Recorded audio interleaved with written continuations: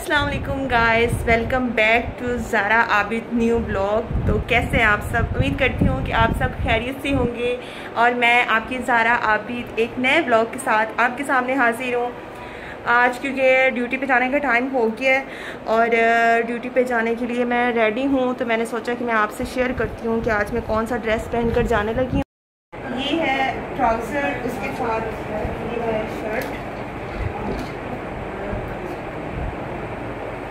ये इसके साथ दुपट्टा और चादर तो हमने लेनी होती है। और गाइस आप जानते हैं कि चादर तो हमने यूज़ करनी होती है। अब हम रेडी होकर फिर आपसे मिलते हैं। तो गाइस आज मैंने न्यू ड्रेस पहना था। इसका फाइनल लुक भी आपको दिखाती हूँ। और ये पर्पल एंड वाइट है। और उसके बाद आज मुझे बहुत ही ज़्यादा सूट कर रहा था।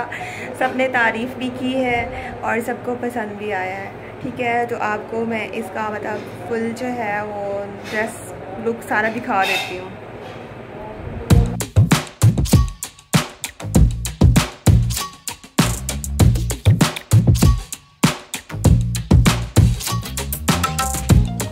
तो अभी मैं ड्यूटी से वापस आ गई हूँ और अब खाना शाना खाते हैं। तो फिर आपसे बात होती है, जैसे गर्मी बहुत ज़्यादा है। तो गर्मी से तो सर में दर्द हो रहा है। ठंडे मशरूब लेते हैं, कुछ ठंडा लेते हैं, फिर आपसे मिलते हैं। और सारे बच्चे इतना तंग कर रहे थे कि पुप्पो हमें कहीं बाहर आउटिंग पे ले जाओ। तो मैंने क्या किया है? मैंने सबको गाड़ी में डाला और लेकर चली गई। तो आपको साथ साथ दिखाती हूँ कि वो किस तरह बस्ती कर रहे हैं इंजॉय कर रहे हैं और मेरे साथ टाइम स्पेंड कर रहे हैं।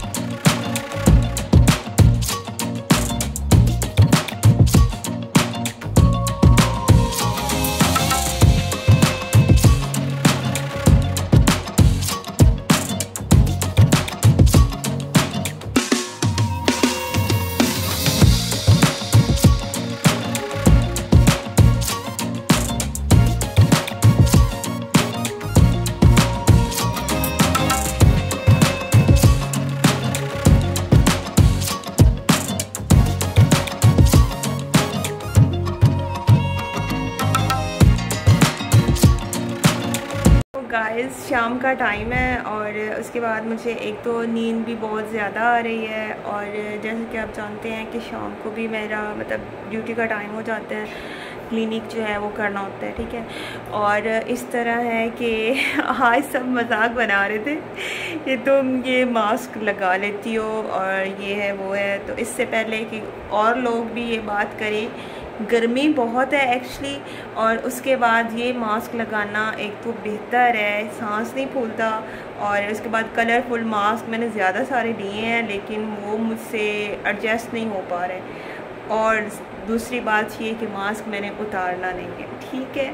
तो इस वजह से इसी मास्क के साथ आपको ज़ारा को देखना पड़ेगा। तो गाइज़ आपसे रिक्वेस्ट है कि आपने मेरे चैनल को सब्सक्राइब करना है लाइक करना है और जितना हो सके शेयर करना है। अल्लाह हाफिज़।